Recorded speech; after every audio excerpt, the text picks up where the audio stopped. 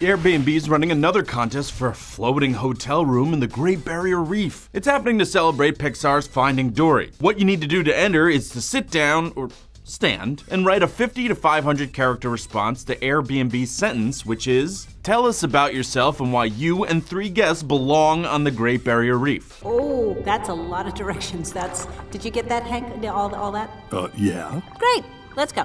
It's definitely worth your while to throw your hat in the ring because the contest winner and three friends will get to stay in this floating bedroom, which features a master double bedroom and two bunk beds for a night. On top of that, you'll get your meals cooked by a chef and you get to go diving with your hosts. Airbnb, of course, does have some rules. They include no clownfish jokes, speak like a whale, spot all 13 resident sea turtles, and don't bark at the seals. So start coming up with your ideas on how to win this contest. Or better yet, start sucking up to your pals who are good writers and like adventures. I'm Patrick Jones for Buzz60. Now you know, pass it on.